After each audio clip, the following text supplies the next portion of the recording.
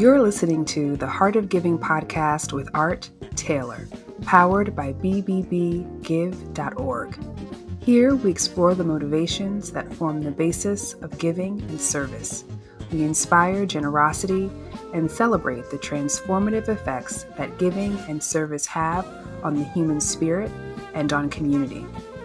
The conversations featured on the podcast also uncover giving strategies that educate and provide tools to help listeners make impactful gifts of both their time and money.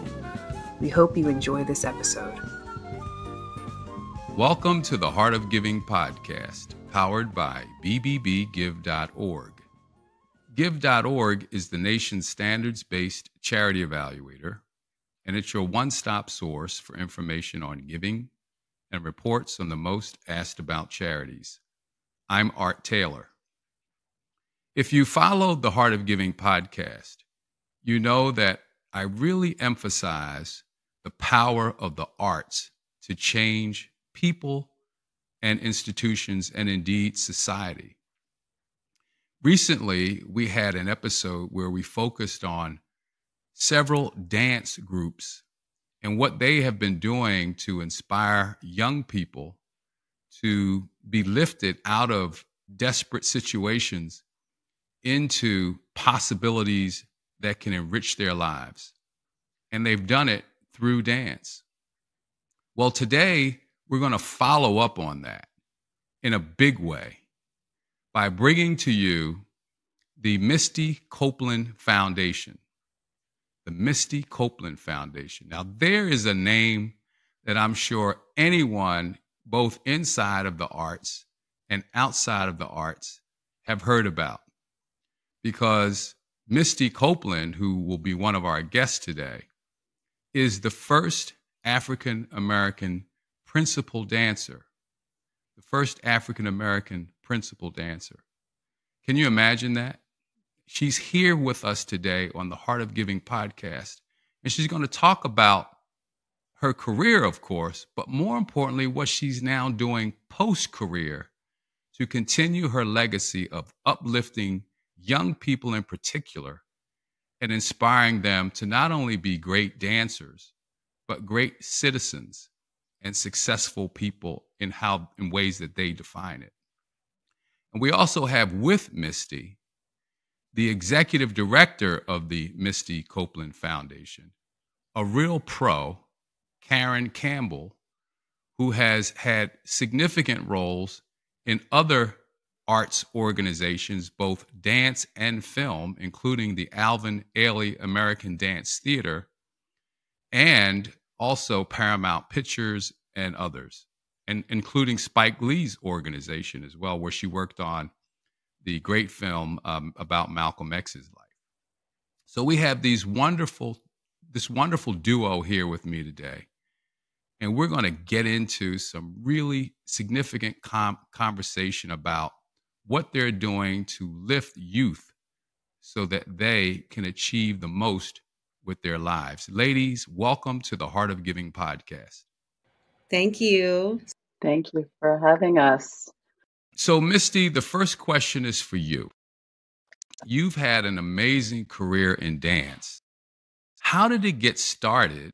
And how did it really inspire you to want to later do more for young people who may be following in a similar path as you? I grew up in um, in a household that was very much uh, full and rich with love and music and chaos, but also a lot of um, instability.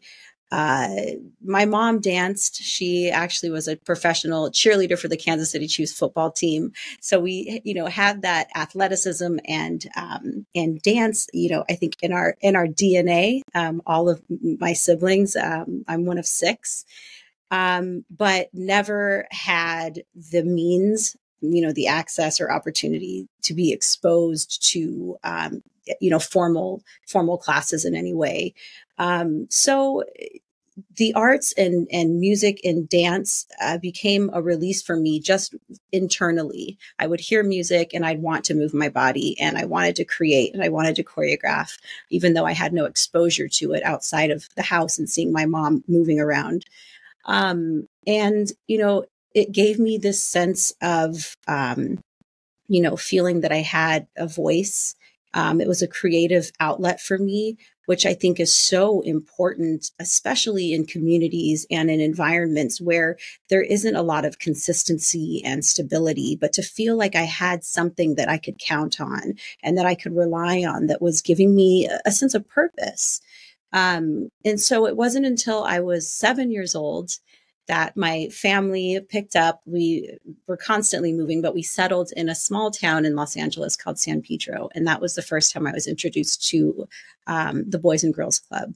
Uh, a community center in my neighborhood. It was right across the street from my public school, and it was a it became a second home. It was a place that um, my mom could really uh, rely on this community to take care of her children while she was working multiple jobs. Um, and it was the first time I was really exposed to, I feel like, what it meant to be a part of a community, um, to be in an environment where there were other adults that cared and uh, wanted to nurture us. There was mentoring and tutoring. Um, and a couple of years later, um, I was exposed to ballet at my club. So I took my first ballet class at the age of 13. Um, there was a, a, local ballet teacher that was looking for more diverse students to bring into her uh, ballet studio on scholarship. Um, because she understood the importance of having having diversity and that it wasn't something that was immediately accessible to a lot of black and brown kids. Um, and she saw my potential. She called me a prodigy immediately, and I ended up living with her for three years, training in her school on full scholarship. Um, and within four years, I was dancing professionally for American Ballet Theater. Um, but because of that experience, I understood what it, what it meant to have a team around you, a team that was going to support me um, and and give me the the tools and the skills to go on to be whatever it was I wanted to be. It wasn't just about you know creating uh, you know, the Boys and Girls Clubs weren't thinking about creating a pipeline to American Ballet Theater, but it was exposing these young people to an opportunity that would be able to allow them to see themselves in a space that um, you don't often in, often see yourself. And so, having that background and having that base um, it has allowed me to understand and see the value and importance of arts, of arts education, um, because it's given me an incredible life. It's allowed me to blossom into the woman that I am today and go on to do so many things, not just as a performer on the stage, um, but given me the confidence uh, to know that I can transition into, uh, you know, so many different um, spaces. Uh, because I have the same passion and mission in mind when it comes to all of these things that I'm doing. It's amazing. I, I think about my own life to some extent, and obviously, we all need a start and we all need mm-hmm. adult support. And for me, it was the local YMCA, the same kind of thing. There were just adults there who cared, who supported, who were trying to get us focused on a particular thing to keep our interest, right? Mm-hmm. But they were really thinking about what might we do after all? How might we max out on what our God given gifts were, however, you know, they manifested themselves. So it's so wonderful to hear this story because I see that in so many young people. And it's because of these institutions, these nonprofit institutions, that we're able to have these kinds of experiences as we grow up uh, as young people. You had this amazing experience growing up and you obviously saw dance as your path, your passion. You had the talent for it, and you had an amazing career. But obviously, it was not easy for you to be an African American woman in a relatively in a field relatively dominated by Caucasian women. Mm-hmm. What were some of the challenges that you had to overcome? in order to achieve the status that you did in this profession? I mean, it's it's difficult to you know exist day in and day out in a space where you don't see yourself. You don't see yourself represented. I was the only black woman at American Ballet Theater for the first decade of my career, and you know, as a young person that's that's still coming into their own and finding their voice and and and identity, um, you know, it's it's difficult when you when you can't really connect um, on a, on a lot of different levels with the, with the people that you're surrounded by. I mean, and, and not just because of my race. I think also, you know, um, econ- economical, you know, socioeconomical background and you know, class. All of these things that, um, you know, there's a certain uh, specific uh, targeted audience that ballet has been created for. And to this day, we're still struggling to um, you know, expose it to a broader audience and um, and you know, give opportunity uh, to young people that don't have the the, the means to uh, get the training, but trying to find some balance so that there is more, um, you know, equal opportunity and diversity within within these spaces. But you know, so just as a young person, day in and day out, not having someone that I could just you know have conversations with about you know the obstacles I was facing, and then there's the you know overt uh, situations where you're not being given opportunities in, in the more classical repertoire, which is very common for a lot of Black and Brown dancers throughout history in this field, um, where you're seen or you're told that modern dance, hip hop, tap, everything that's not classical ballet is something that might be more organic for you to do. Um, and so, you know, when it came to more of the the modern and contemporary ballets that ABT was doing, those were the roles I was getting, but I was never getting those opportunities in the pure classical roles.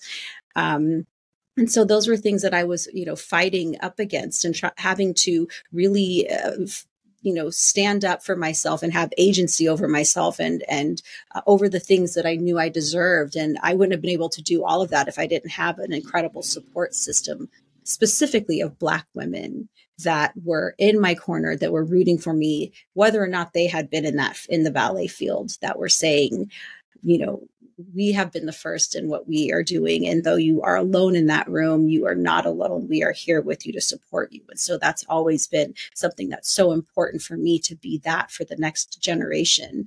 Um, because, you know, what are we all doing and going through these things and having these experiences for if we're not learning from it and passing it on to the next generation so that it is easier for them so that they can make leaps and go further than we could ever imagine ourselves going. Um, and so that's really just, you know, all of these things that have, that have been difficult for me um, in, in my field have been fuel for me to move the art form forward and to give more opportunity to the next generation. Um, so yeah, you know, I, I, could I could go on and on about all, all, the things that have been difficult, but I think that it's important just to really, you know, um, to focus on what I've learned from those experiences and how we can make uh, these spaces, um, you know, better, better for the next generation. So we're fast forwarding a little bit through your career now to a point when you made a decision that it was important for you to create opportunities for those coming after you. At what point in your life did you come to this realization or this this notion that you had to do more to help others? You know, I think that I learned this from being a part of the Boys and Girls Club. I think that it's something that was uh, really just um, being exposed to that way of creating community and supporting one another just became like a, a natural thing for me.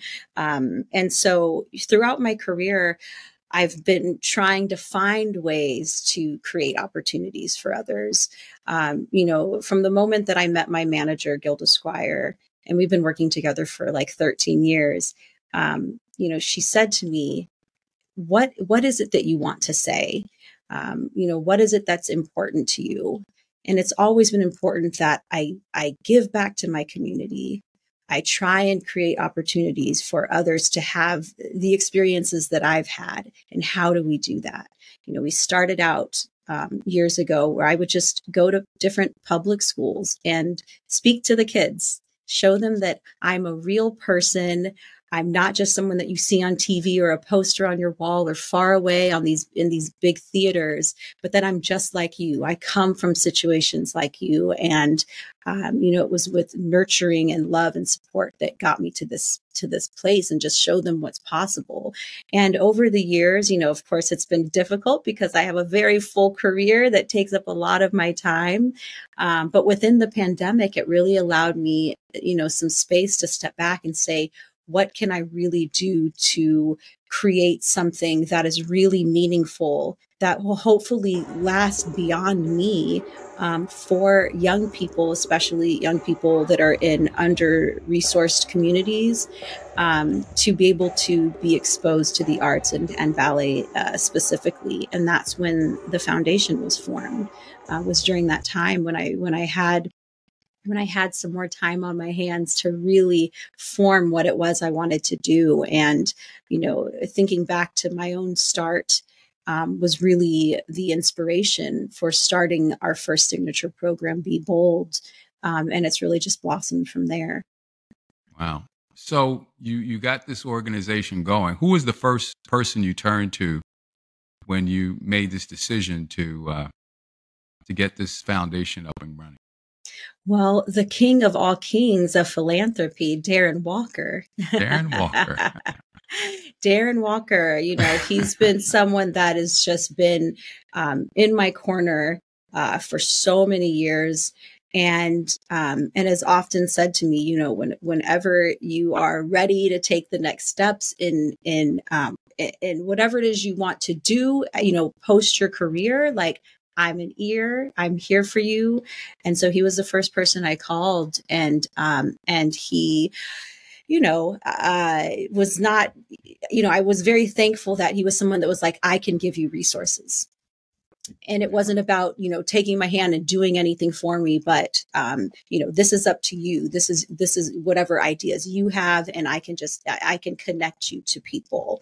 Um, and that's when I was connected to Jane Polin um, my philanthropic advisor, who has been a godsend, um, and she's really helped to build the the small but mighty team that we have. She found Caryn Campbell, um, you know, and it was really important for us to have a strong team of women and um, women of color at least when we're building the foundation. Um, and so it was really just incredible that Caryn was even interested and that we got her to leave an incredible organization where she had already done so much work and had made such an impact. Well, for those of you who don't know, Darren Walker is the CEO of the Ford Foundation, one of the largest philanthropic organizations in the world. He is an African American male and uh, a wonderful leader and supporter of things that help move our society forward, particularly around race and various types of disparity. So we want to hold him up, and I'll get Darren on the show one of these days. Mm-hmm. we'll get a chance to talk also. So that's a great one. Yeah. And you mentioned Jane Polin. I've known Jane Polin for probably I want to say 35 years. Don't tell Jane I mentioned how long. But uh, a, tr- a, tremendous leader and supporter and a person who will get things done. Mm-hmm. So it's been wonderful to have her as a friend also. Well, you, you mentioned Caryn. Caryn, you know, you found out about this, and obviously you have had a, an illustrious career of your own. So you hear about the creation of the Misty Misty um, Copeland Foundation, and you decide to just drop everything and, and mm. go to work for this fledgling thing. I mean, what what was going on in your mind? My feeling, Art, is that I dropped everything so that I could go work with Misty because what she wants to do with the foundation and in particular to start with the signature program be bold is to work with young children in a way that has not been done before. And as much as I loved working for Alvin Ailey American Dance Foundation, and I miss working with everyone um, because it's an amazing institution, I feel like I have the opportunity to work with her to do something, to build something from the ground up. And I hadn't had that opportunity before. Well, that's always a challenge because, you know, in, in the nonprofit world, there are 70, 80,000 new organizations created every year. They're all looking for funding and they all believe they have a tremendous mission and they have to get to work on solving the problem that they were established to solve. But it's tough, it's difficult. But I will say, reading your resume and looking at your background, you give this organization a great chance because of your fundraising background. You've raised a lot of money in your life. You've obviously um, worked with organizations in this space. So uh, you have a head start that I would say a lot of organizations don't necessarily have.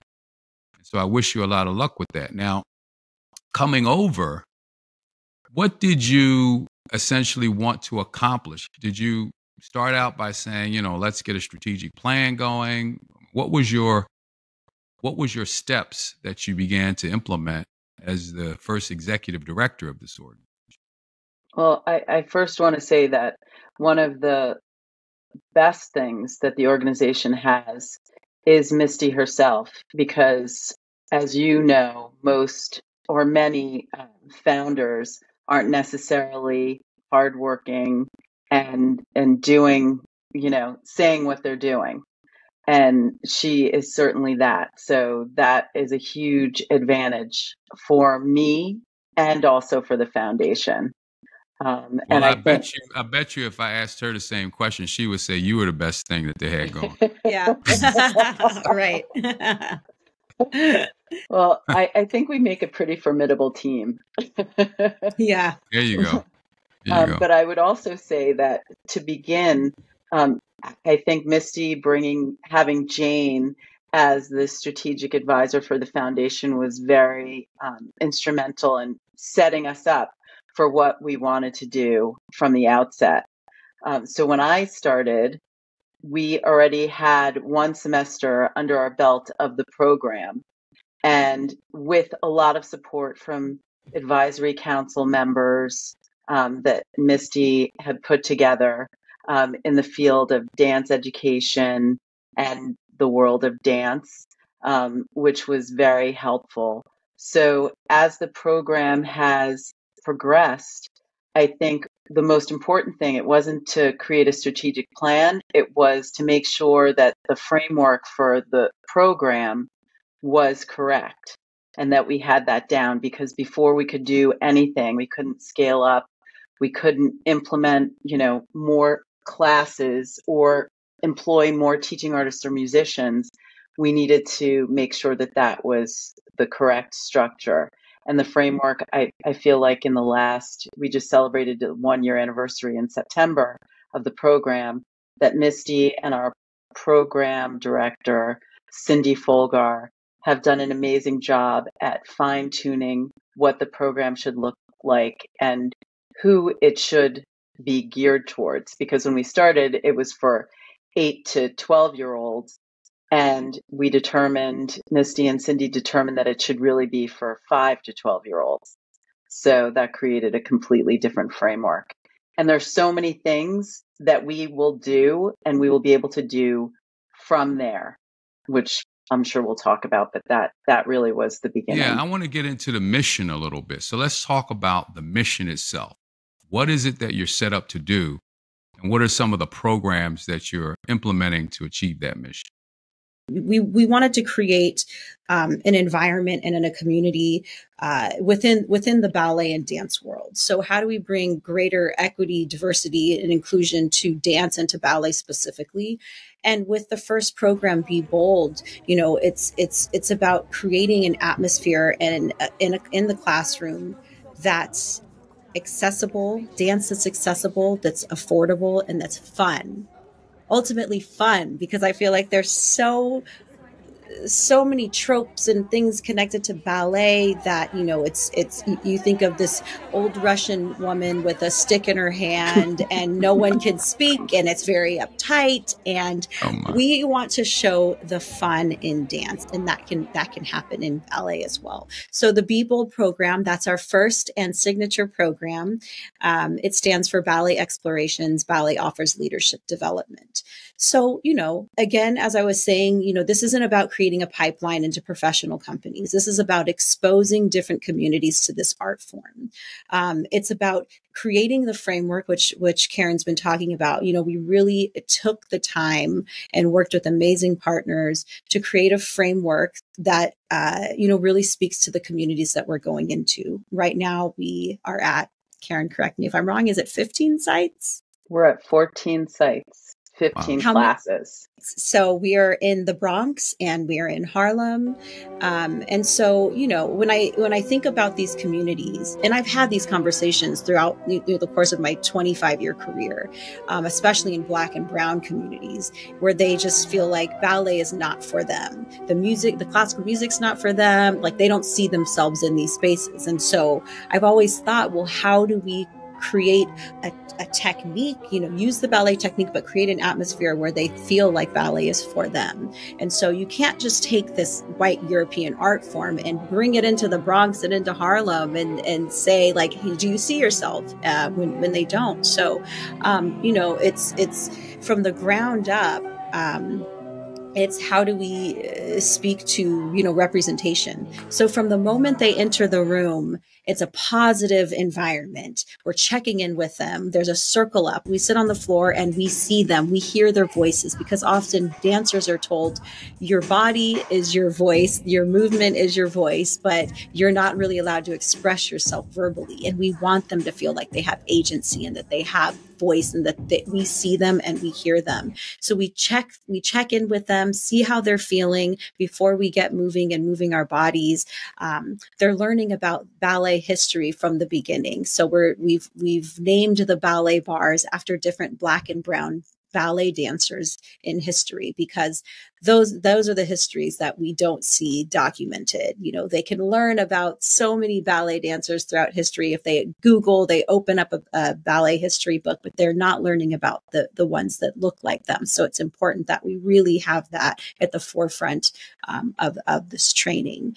Um, then they go into you know the typical ballet class at the at the ballet bar except for there's fun different ways that we mix it up in between combinations. So they may have improvisation that happens in between a, a plie or a, a, tendu. And we really give the teaching artists, artists um, the power to take what we're doing, but put their own spin on things. We have an incredible teaching artist who has even implemented rap into um, part of what she's doing when she's teaching the class. So they're learning a, they're learning, you know, these raps about the ballet technique and rhyming and connecting it to the movement that they're doing. So it's finding fun and creative ways to um, introduce young people to this very old traditional art form. Um, and then, of course, the musicians. I think that they're definitely like the stars of of, of um, in the classroom because they're really bringing it to life and um, it's not just classical piano, which is what you're used to in a in a ballet class and environment,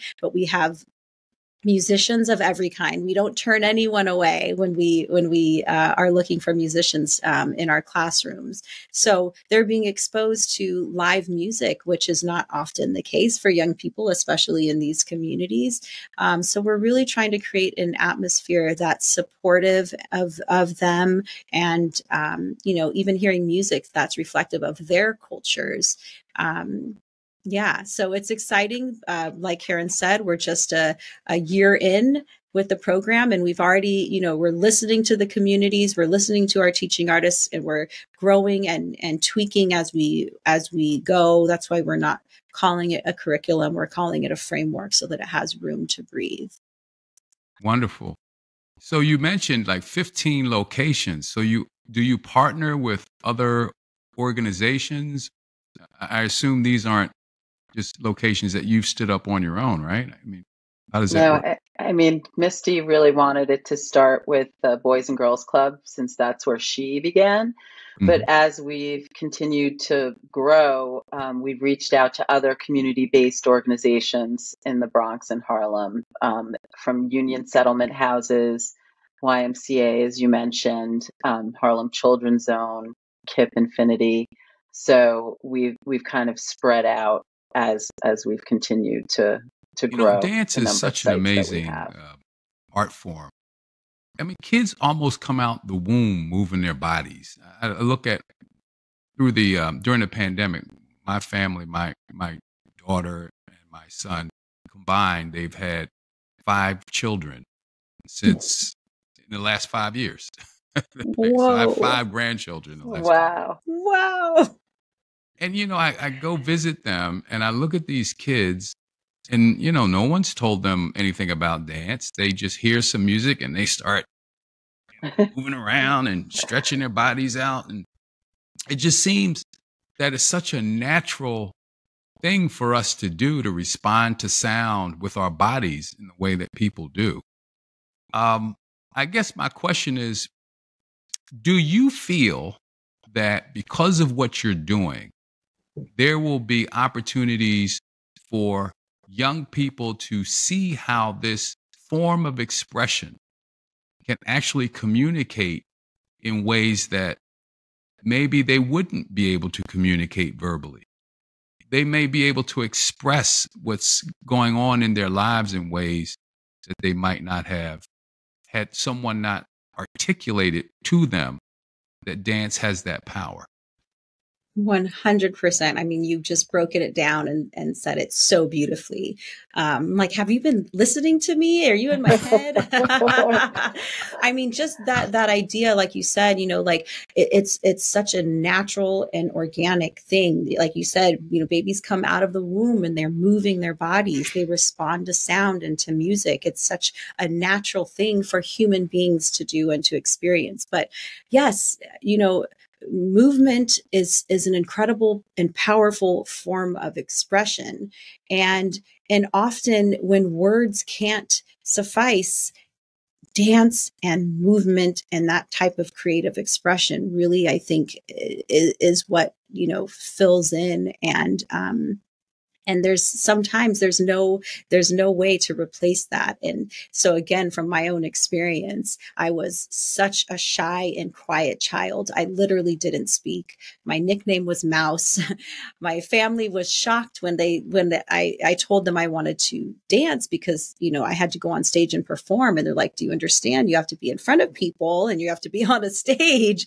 Um, but there was something that was it, it worked for me it allowed me to express myself in a way that I was comfortable and that I could not through words. And so that's definitely at the top of mind, you know, with giving young people this opportunity. It's, it's showing them that yes, there, there, there are other ways of expressing yourself. And a lot of them aren't getting these opportunities in their schools a lot of the time, you know, recess is being taken away, and you know, we're thinking about, um, you know, test scores and and the you know the physical expression or just getting up and moving your body is left behind.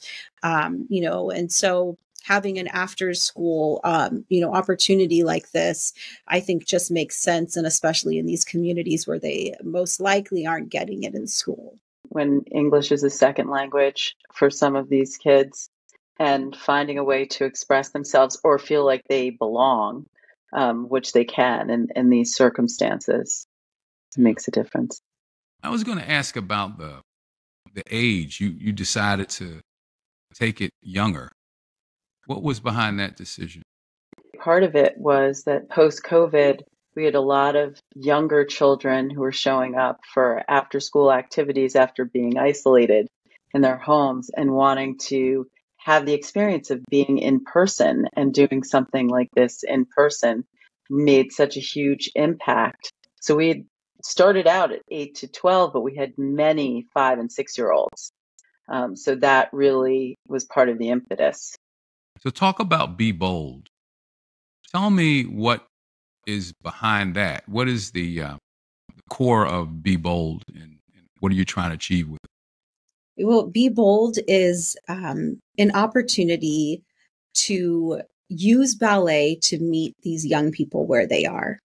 I think it's also an opportunity to create um, to create community uh, within the, the, dance and ballet world specifically for our teaching artists and musicians. Um, it's it's a small tight knit community but there's not often a lot of uh, communication and and support in terms of what so many dancers have experienced um, as young people with those teachers, like I was talking about, that um, often are not nurturing or are not thinking about people who maybe don't look like them or that come from different uh, backgrounds and different communities. So, um, you know, we have an incredible team, and I can let Caryn speak to that. You know, of of people that we've we've brought on board that are really there to support our teaching artists and musicians as well as our young people. But it's creating, uh, Be Bold is creating a more positive, um, you know, fun environment uh, to experience dance and experience ballet. Caryn, anything you want to add to that?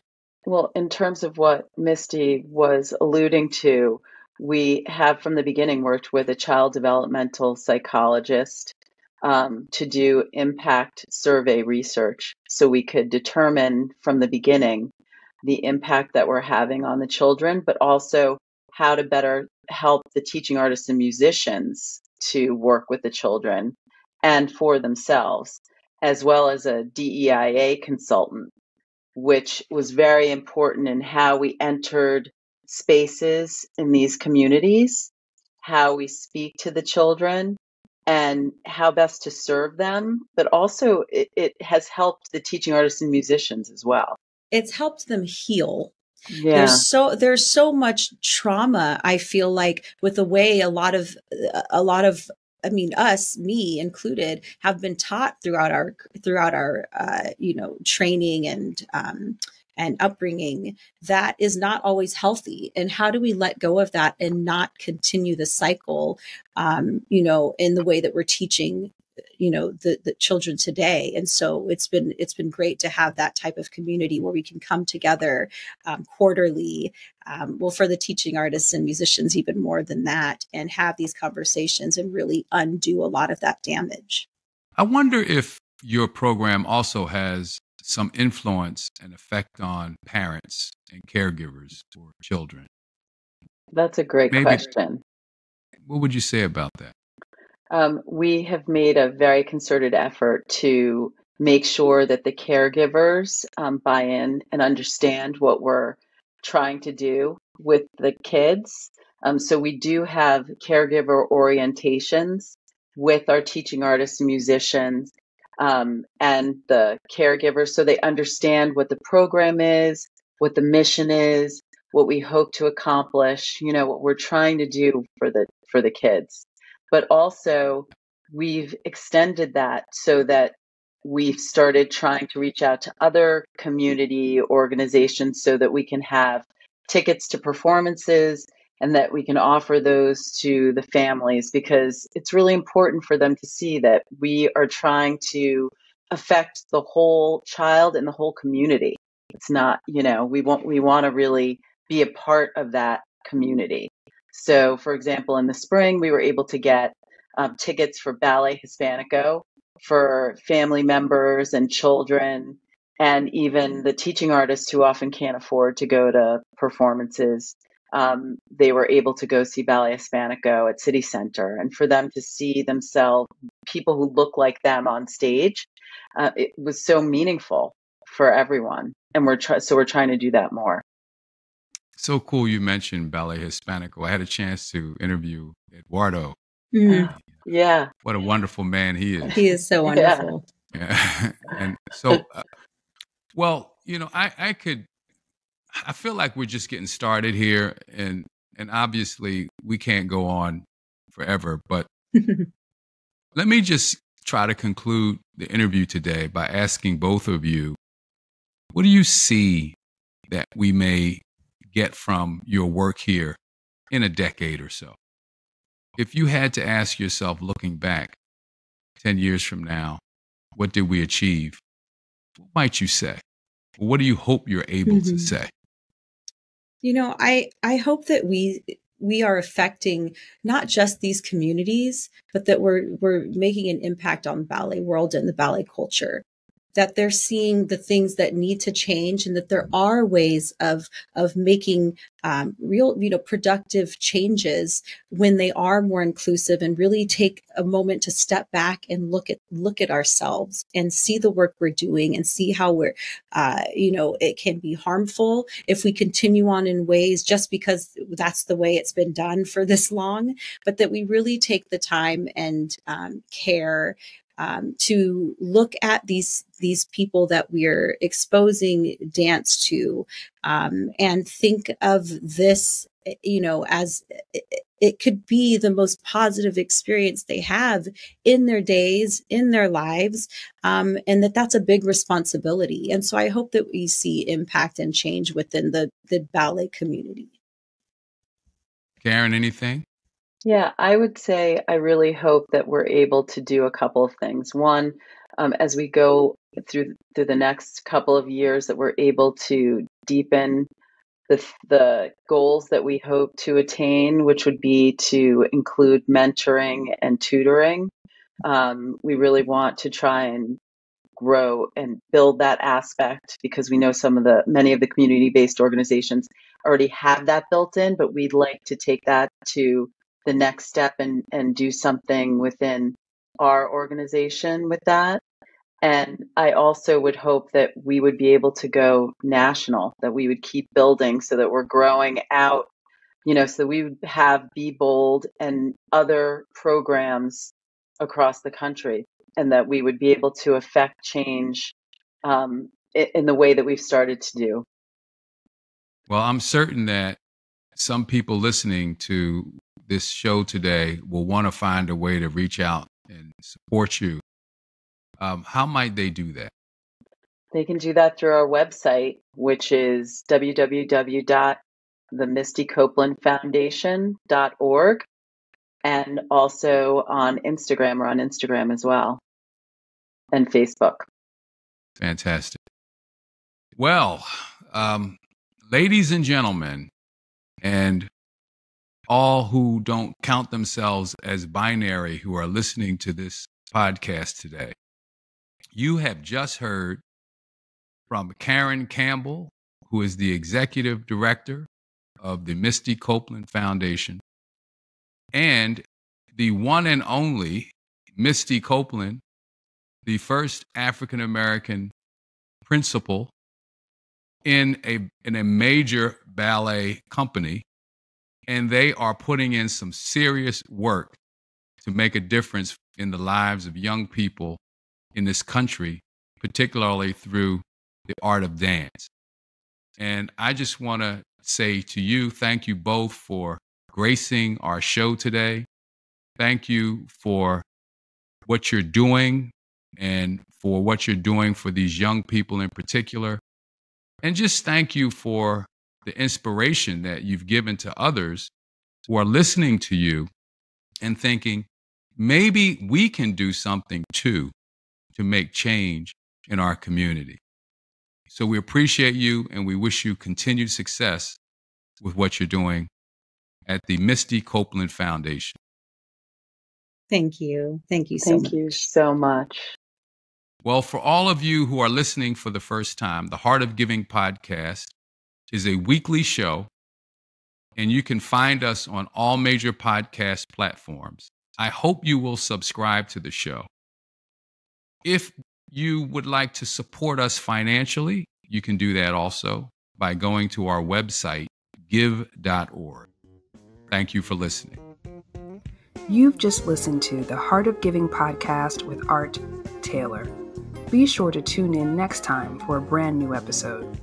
To listen to our other interviews, visit heartgiving.podbean.com. That's heartgiving.podbean.com. Subscribe to our show on major podcast platforms. The thoughts and opinions expressed on this podcast are the views and opinions of the guests, not those of the BBB Wise Giving Alliance or program affiliates. This podcast is for information and educational purposes only and is copyrighted with all rights reserved. This podcast is protected by Podbean's terms of service.